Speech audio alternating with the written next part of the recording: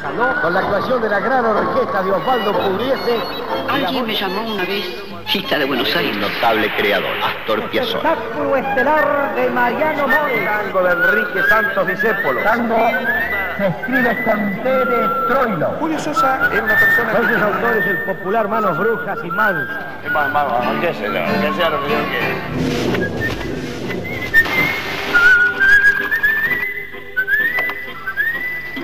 Los capos del tango. Hoy Rubén Juárez.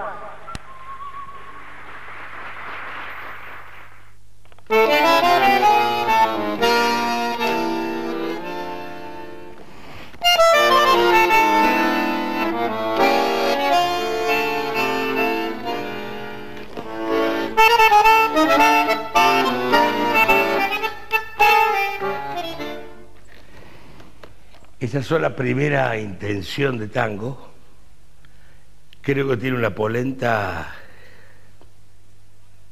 impresionante. Creo que es un tango hecho para el bandoneón. Y fundamentalmente creo que tiene una expresividad de aquel que verdaderamente le gusta este instrumento. Porque este instrumento lo podés o te puede. Y a Rubén, que nos conocemos con Rubén hace más de 25 años, 30 te diría. Éramos muy flaquitos y hace como 40 kilos menos con Rubén, no 60, no sé, muchos años. Y bueno, empezamos a, a componer muchas veces juntos y tuvimos la suerte de hacer un éxito grande que fue que tango hay que cantar. Decime, bandoneón, qué tango hay que cantar. No ves que estoy muriéndome de pena. Tal vez en tus archivos se quedó un tango que Gardel nunca cantó. Permiso, bandoneón. Quizá dice Polín, un verso te dejo para mi pena, yo sé que con tu aliento a soledad mi angustia y mi dolor podés calmar. Rubén es un loco, te llama a las 3 de la mañana o a las 7 de la mañana y te dice, escuchá, escuchá, y empieza a cantarte la melodía. Esas cosas hace Rubén. Y hace poco tiempo me hizo eso, 7 de la mañana, que me dijo que se había levantado para ir a correr, que todavía está turbio eso, pero bueno, me llamó a las 7 de la mañana y me dijo, escuchá, escuchá, y bueno, pa, pa, pu, me mandó una, una melodía, ponerle letra que mañana tenemos que hacer el, el tema para presentar en un festival. Le hicimos la letra que la terminó Silvia Juárez, su mujer, la terminó de arreglar ella, que escribe muy bien también Silvia.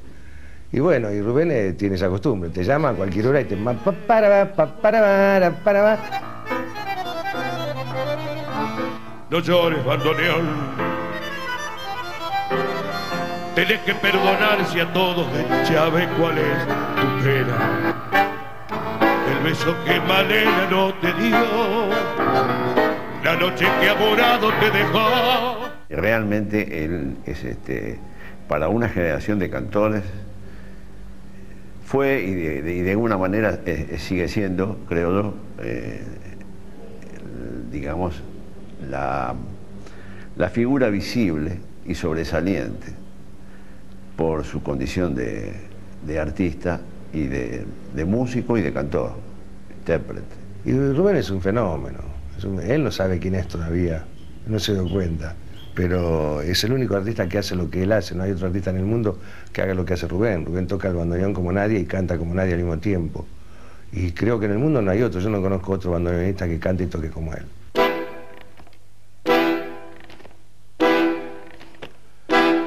Con este tango que es burlón y compadrito, ató Susana la ambición de mi suburbio. Con este tango nació el tango y como un grito salió del sólido barrial buscando el cielo. Conjuro extraño de un amor hecho cadencia que abrió camino sin más ley que su esperanza. Mezcla de rabia, de dolor, de fe, de ausencia, llorando en la inocencia de un ritmo juguetón. Rubén tiene eh, todo lo necesario para ser un, y como es, un gran intérprete de tango.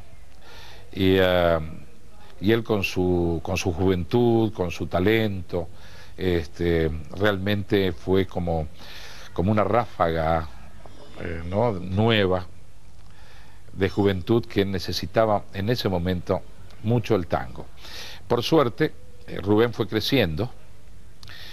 Para mí, eh, en este momento, creo que es uno de los bandoneonistas, músicos más importantes que tiene nuestro tango. Tango es la emoción de regresar al punto cardinal. Tango es un beso en un andén, en la oficina y el café, y tiene tango la moquete de una mansión, así como compartir la tos en un bulín de dos por dos. Y aquí, donde me ves, Buenos Aires, tango es esta vez sin guapo, sin puñal. Comienza cuando empieza cada aurora. Es que mi tango, mi tango ocurre hoy. Aquí. Y ahora. Y una cosa más, Buenos Aires.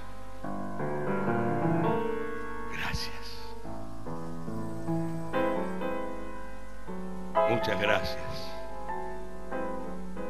Ya que en estos 30 años me hiciste uno de tus cantores. En el caso de, de mío, por ejemplo, de, ser artista, mi viejo tenía una forma de apoyar que era en silencio, ¿viste? Él sabía que yo, que a mí me gustaba la música. Pero mi vieja lo quería comercializar eso, quería hacer de eso un hecho, ¿entendés? O sea, la, acción, en mi caso, era de mi vieja. Y tal vez, eh, no sé cómo se le puede llamar, no quiero separar una cosa de la otra porque las dos van juntas. Eh, Creo que en el buen sentido los dos se llevaban bien frente a lo que querían del hijo. Mi papá estoy seguro que quería que yo fuera artista. Y mi mamá era la que podía, ¿viste? La que decidía. ¿Dónde estarán los puntos del boliche aquel en donde yo rimara mi primer canción? Y aquellos patios donde pronto conquisté aplausos Laura, los primeros que escuché, ¿dónde estarán? Traverso el cordobés y el noy el pardo Augusto Flores y el morocho Aldaz, así empezó mi vuelo de zorzal, los guapos del abasto rimaron mi canta.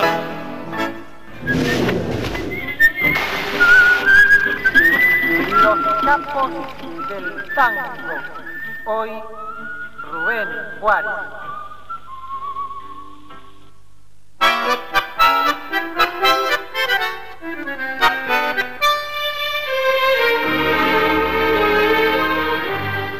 A veces se me hace que nació conmigo y durmió en mi cuna pegado a mi piel, que fue mi juguete y mi perro de pibe y toda la infancia la corrí con él. Rubén Juárez nació en Ballesteros, provincia de Córdoba. Con dos años de edad sus padres se trasladan a Buenos Aires y se instalan en Avellaneda. En el barrio de Sarandí, el nene de seis años se coloca un bandoneón en las rodillas. Allí descubre la música, el instrumento y el tango. Mis viejos se encargaron de llevarme a un profesor de bandoneón y acordeón. Estoy hablando de Sarandí, Avellaneda, ya, ya cuando vine de mi ballesteros querido, ¿no? Mis viejos decían que yo tarareaba cosas y hacía bandoneones de papel. Y bueno, cuando voy al profesor que me llevan ellos, como diciendo, ya que te gusta el instrumento de teclado, te vamos a llevar a un, a un señor de la zona que se llamó Domingo Fava. Me llevaron, entonces llegó ahí, yo tenía seis años de edad, eso me acuerdo patente. Y el señor me tocó queja de bandoneón en el acordeón. La primera y la segunda parte, y queja de bandoneón en el bandoneón. Entonces me pregunta Domingo, y dice, ¿cuál de los dos instrumentos querés aprender? Y yo dije, este.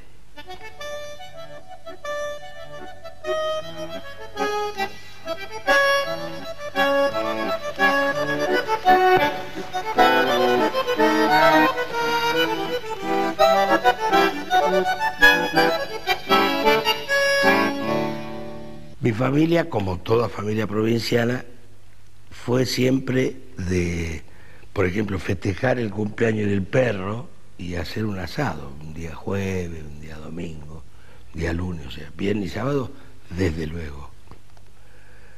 Pero muy, muy de fiesta, muy de holgorio, ¿no?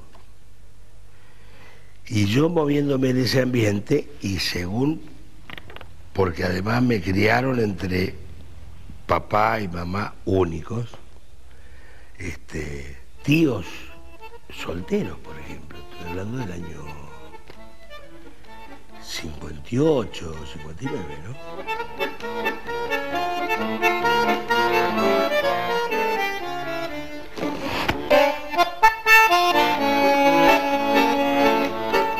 Pero desde luego si el sobrinito tocaba alguna rancherita, alguna cosa cuando aparecía la milonga, el baile, después de...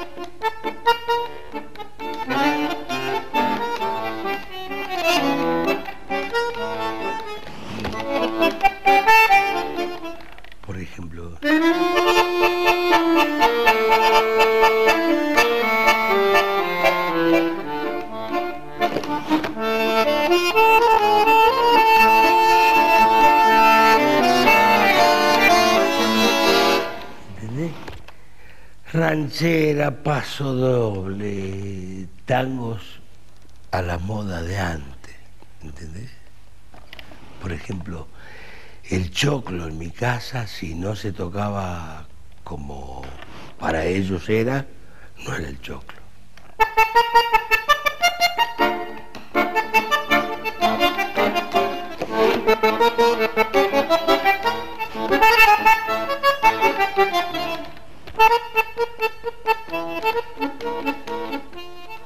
Pasaron algunos años y un día llega a la casa de los Juárez el guitarrista Héctor Arbelo para proponerle salir de gira por el interior del país, para cantar en los pueblos los fines de semana.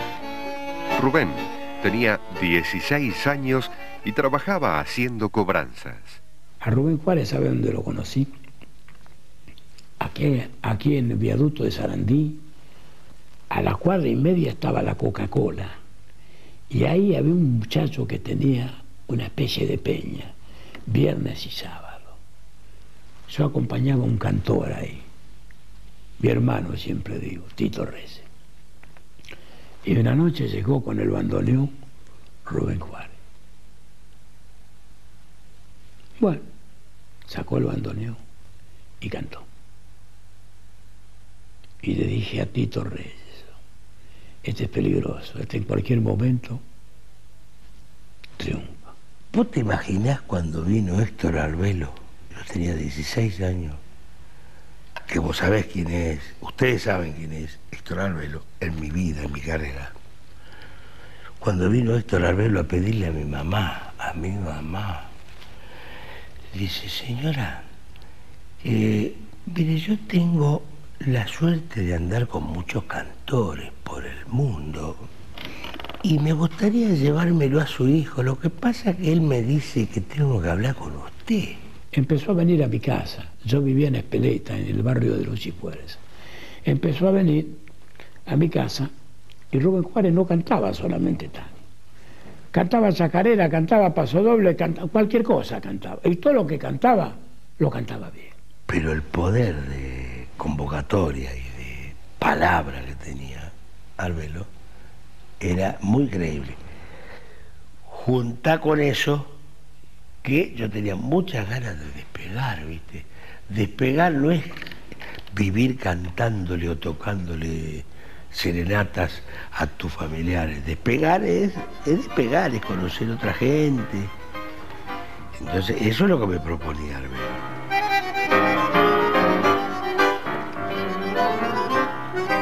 Pironga de corralón de puente al cine a la boca, tras de salte el conón y de barracas la copla. Cuando desato mi chata, se me hace silbo en la boca.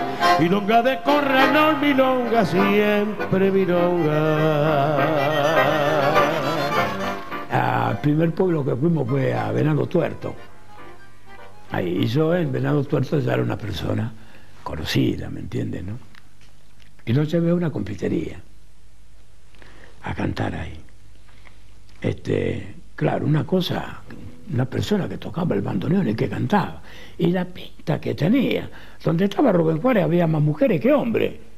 Era una cosa de loco. Te digo por dónde arrancamos.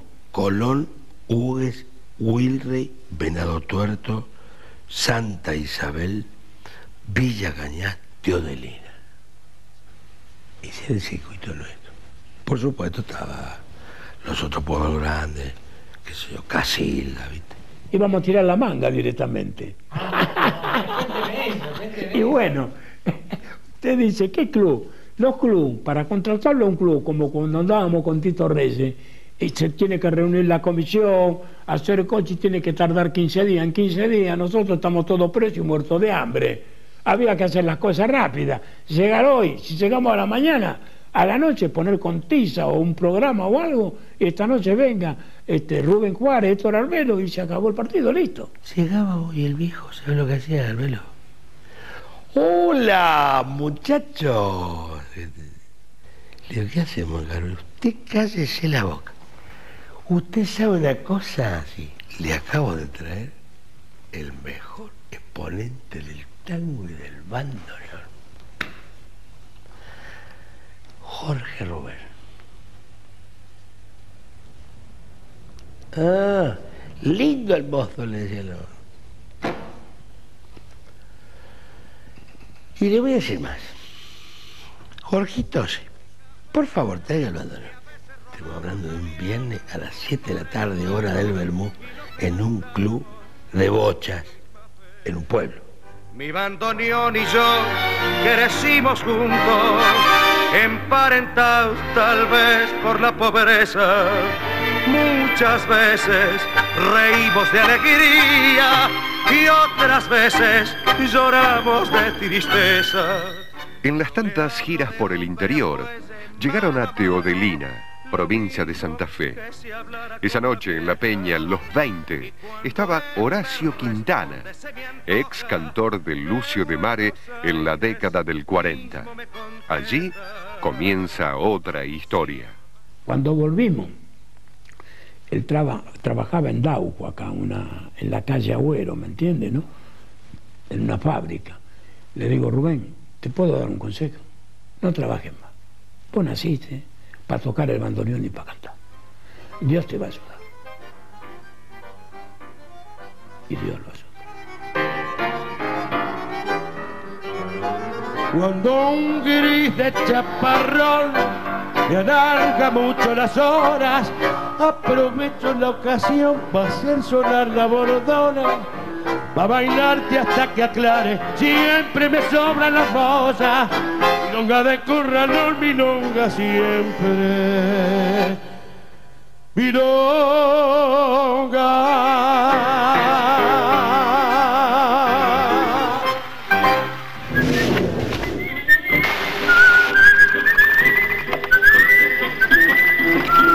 Los capos del tango.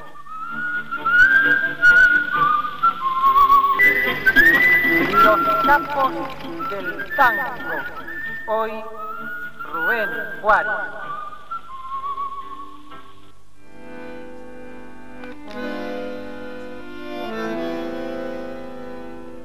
Mano abierta con los hombres.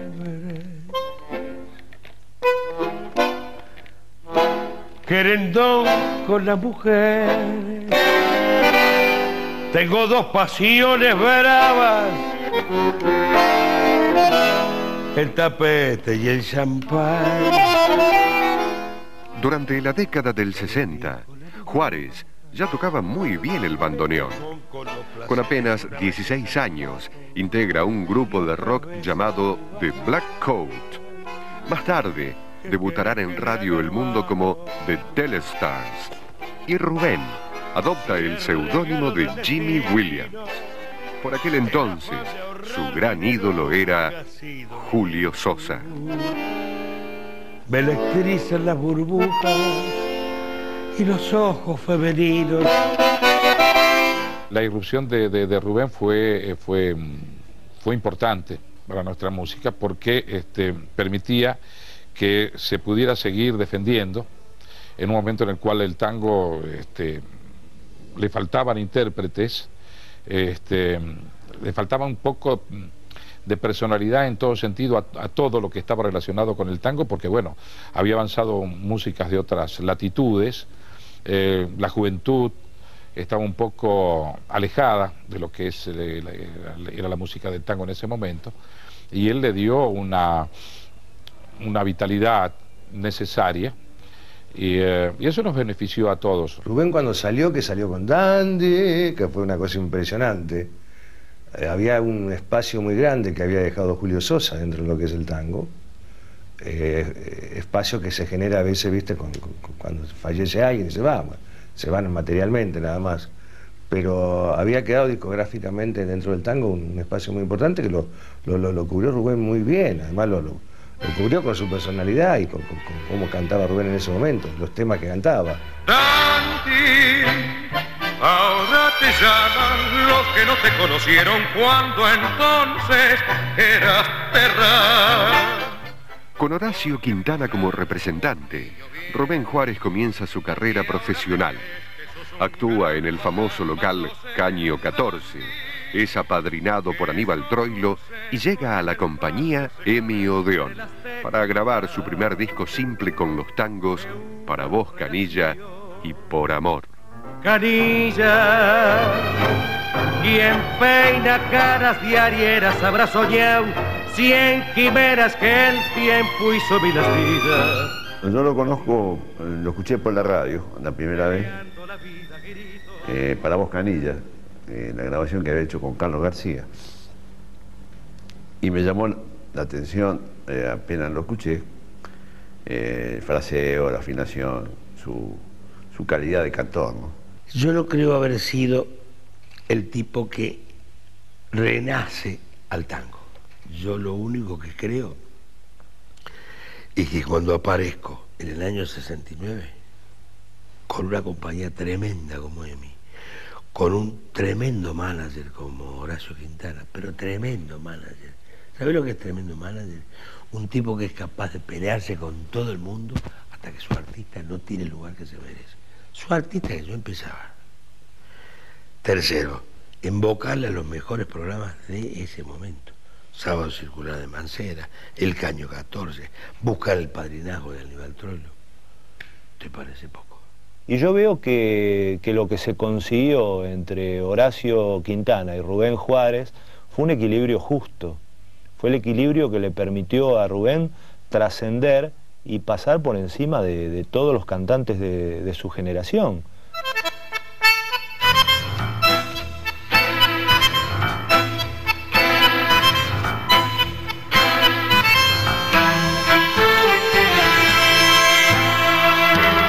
Ayacucho y Santa Fe son las cuatro menos diez.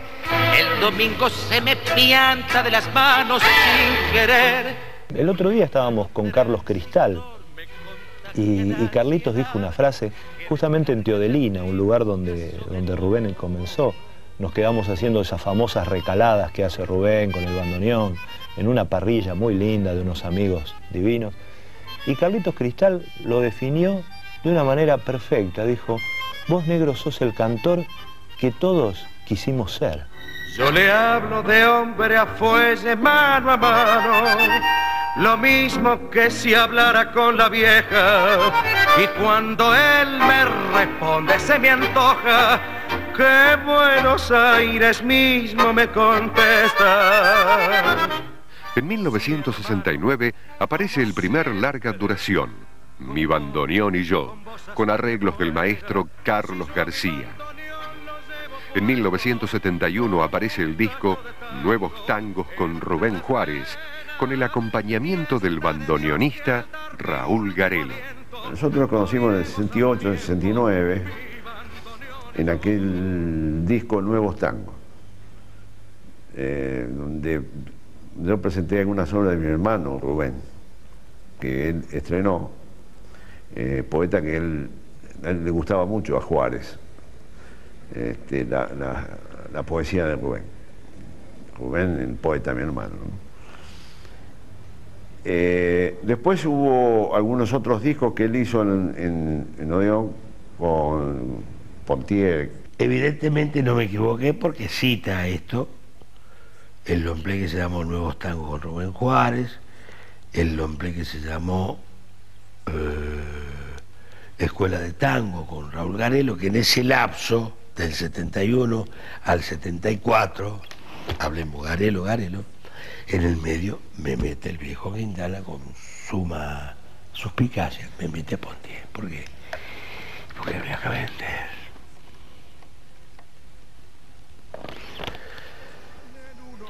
Y no se equivocó.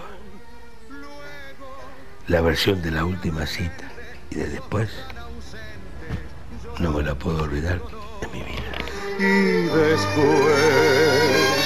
la noche enorme en el cristal y tu fatiga de vivir y mi deseo de luchar. Rubén acrecienta su fama y graba casi un disco por año con la orquesta de Garelo, la orquesta de Armando Pontier e inclusive uno con el guitarrista Roberto Grela. Él eh, era un riguroso este, eh, en, mirar todas las obras que le alcanzaban. Mirábamos, eh, porque venía la línea melódica o los textos. Y, uh, estrenó muchas obras este, que, de autores prácticamente muy poco conocidos. Eh, y bueno, después grabamos tango muy conocidos. Este, pero la, elección de repertorio era, de él, desde luego. Soy aquel que conocieron, bailarín de lo mejor, acordes naturales, no.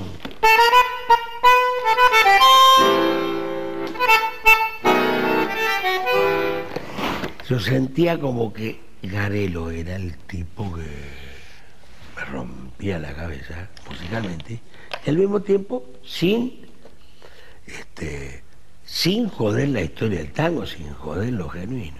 Él, eh, gran intuitivo, condición fundamental para un artista, y en este caso un artista que músico o un cantor, esa, la condición nata del oído y de la, de la predisposición de, todo eh, musicalmente.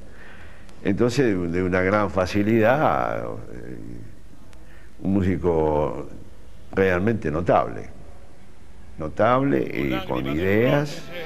Nosotros trabajamos eh,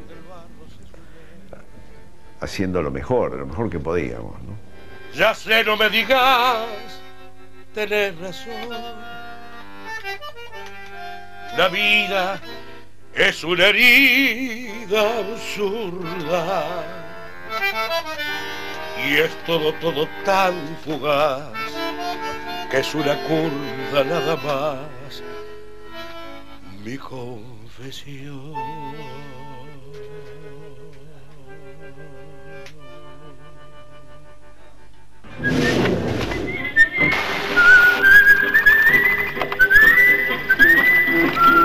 Capos del tango.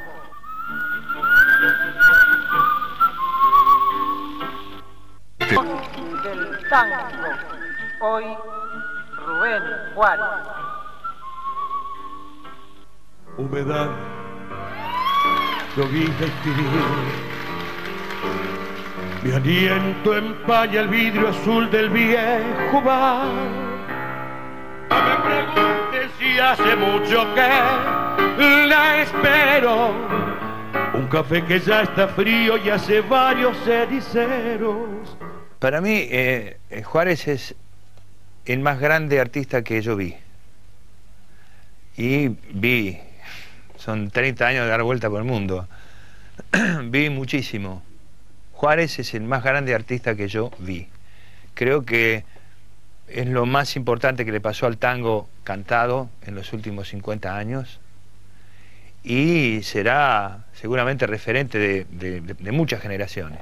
Es una figura muy, muy fuerte, muy importante, que, que, pone un límite a partir de ahí para adelante, ¿no es cierto? Y es un poco así como la, la idea de la figura a seguir, el concepto a seguir, eh, la envidia desde, desde el buen sentido de la palabra, de- del manejo del escenario, del poder tocar un instrumento con, con tanta versatilidad como lo hace. El negro me parece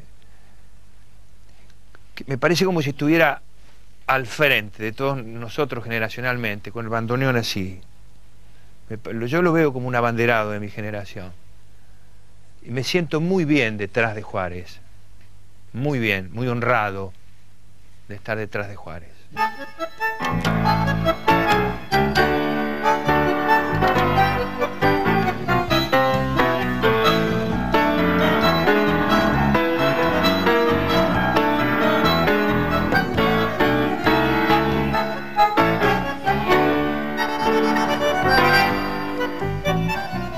Yo creo que puedo expresar una frase en el bandoneón gracias a que canto. Y también puedo expresar una frase cantada gracias a que toco el bandoneón.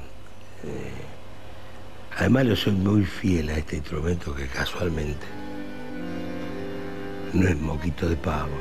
Es un, es un diablo esto. Estás desorientado y no sabes qué trole hay que tomar para seguir. Y en ese desencuentro con la fe, quieres cruzar el mar y no podés. Y cuando él canta, toca el bandoneón, exactamente para lo que él necesita, para lo que él está haciendo. Y cuando canta con el bandoneón, canta como muy pocos cantan. Tocar el bandoneón y cantar, nadie. Simultáneamente, por lo menos.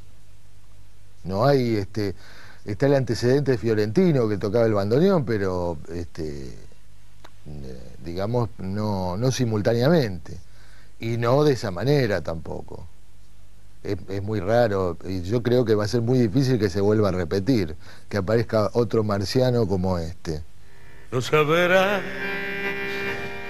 nunca sabrás lo que es morir mil veces de ansiedad. No podrás nunca entender lo que es amar y enloquecer. Tus besos que queman tus labios que embriagan y que torturan mi razón. Juárez, eh, con, la, con, la, con la audacia de los grandes, que únicamente tienen los grandes, ¿no? tomó, tomó Pasional, que era algo intocable del repertorio de tango, ya- y se acabó lo que era intocable. Lo agarró el negro y, y lo dio vuelta como una media. Rubén agarró Pasional, o sea que nadie lo, lo cantaron millones de cantores y de repente lo agarró Rubén y hizo una versión totalmente distinta y maravillosa. o tinta roja de repente y le hace unos arreglos distintos y documenta el Buenos Aires actual. El del tango tiene, tiene otra manifestación que es para documentarse ahora, ¿no? En la tarde a las seis era de esperar, ella viene y me espera en el portón. En el año 1984, Rubén graba un disco con arreglos y dirección de Lito Nevia, donde incluye obras del rock nacional, un dúo con Piero y otro con Juan Carlos Baglietto. Entonces, en esa cosa, ya metido en el mundo del rock nacional, porque yo estaba con esos chavales, ¿no? Personas que admiro muchísimo, ¿no? Yo he tocado...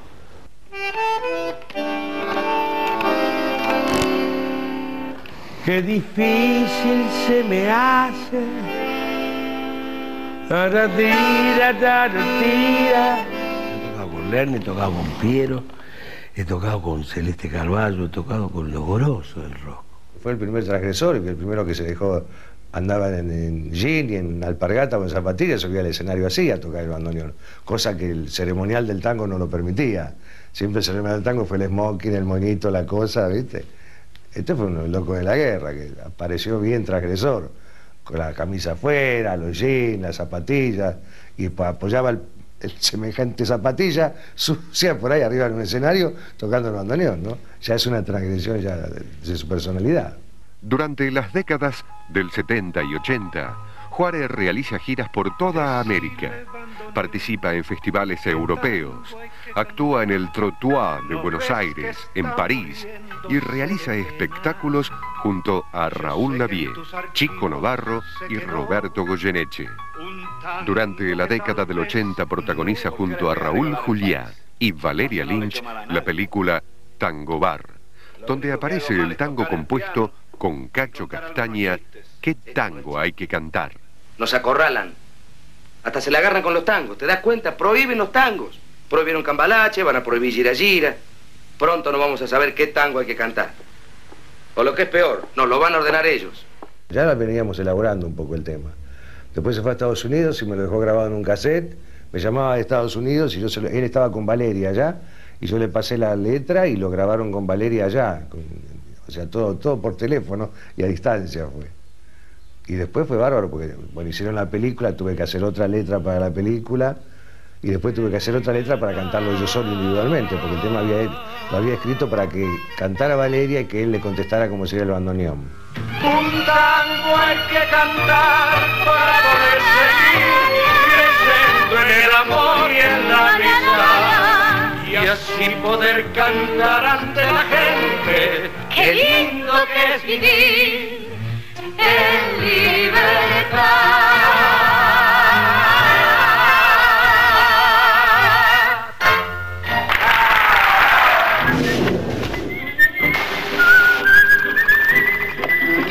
Campos del Tango. Hoy, Rubén Juárez. Barrio plateado por la luz, rumores de Desde finales de los años 80, Rubén Juárez tiene su local de tango en el barrio de Palermo. Se trata del café Homero, un reducto donde noche tras noche se juntaron las más importantes figuras del género. Esta es la segunda casa de Rubén, un sueño hecho realidad. A mí me tocó cantar, con, Rubén hicimos un espectáculo que se llamó Tango a Tango, tuvimos como cinco meses cantando en Homero, que fue también una de las experiencias más hermosas de mi vida, y era hermosísimo porque porque primero por lo que significaba la comunión con él y con José Ojieviecki, que es otro adorable compañero de trabajo de toda la vida,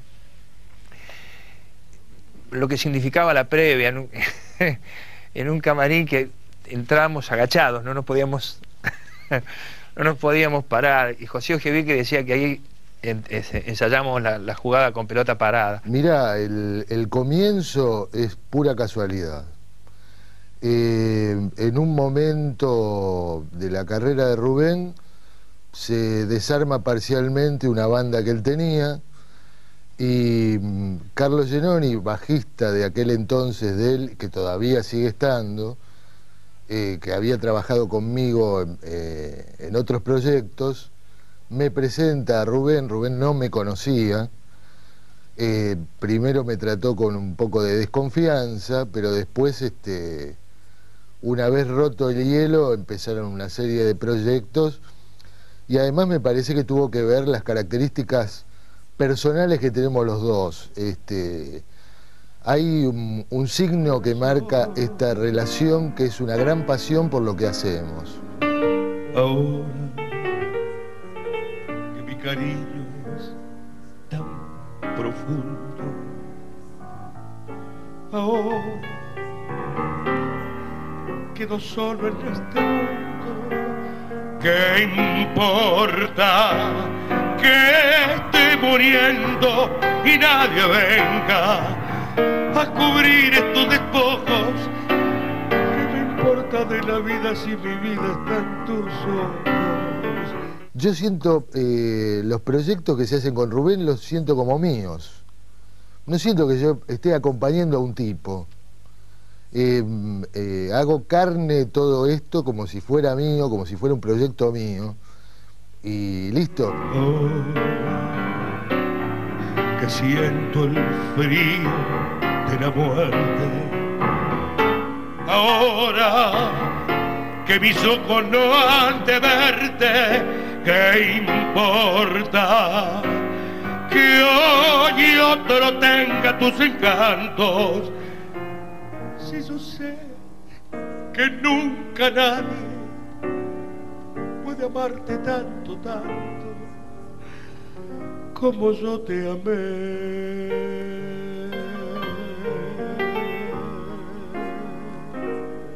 Desde 1987, Rubén no graba discos. Recién en el año 2002, con dirección de su pianista José Ojibieki y la representación artística del cantor Carlos Varela, registró su compacto El álbum blanco de Rubén Juárez.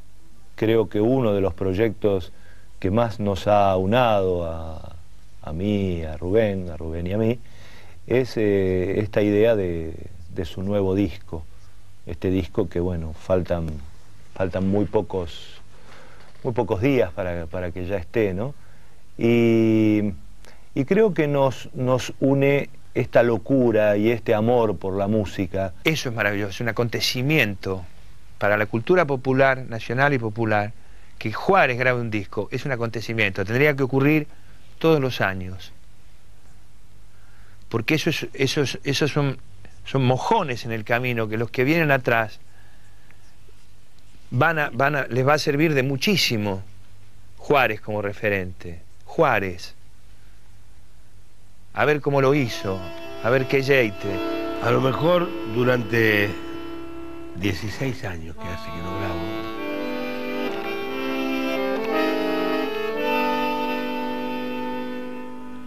Por ahí me estaba guardando toda esta energía que tengo ahora. Que por ahí el año pasado, el año pasado, no sé si la tenía. Hoy te digo que sí la tengo. ¿Sabes por qué?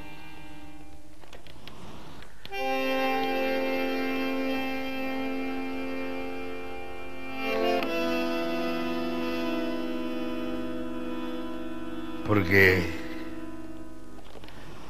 lo mismo que vos. Me cuesta seguir buscando un motivo para sonreír. Temiéndole al diario,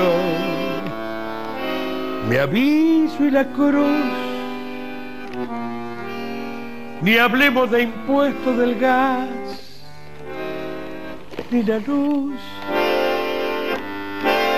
Me rompo las manos como un belinún. De faso salteado y de vino común. Después al sumar me agarra la tos y ganas de odiar lo mismo que vos.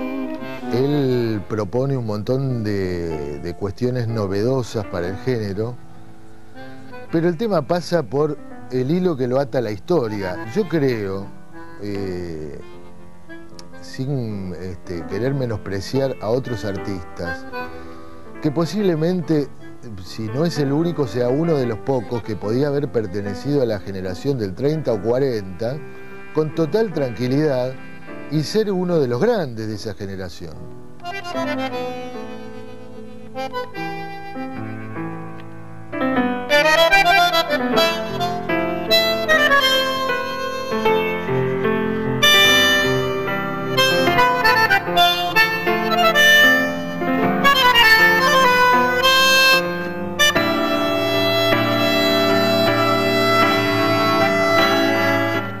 Para mí, que fue Gardel, que bajó hasta tu niñez y besándote la frente te batió, cantá, Rubén. Y un ángel, porteño y reo que tocaba el bandoneón, piantó una tarde del cielo y vino a vivir en vos.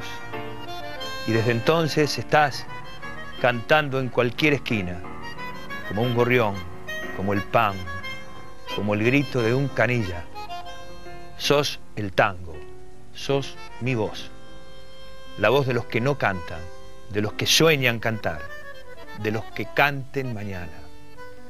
Y aunque a veces cante ruina la baraja de la suerte, con vos no podrá la muerte, sos un tangazo de vida.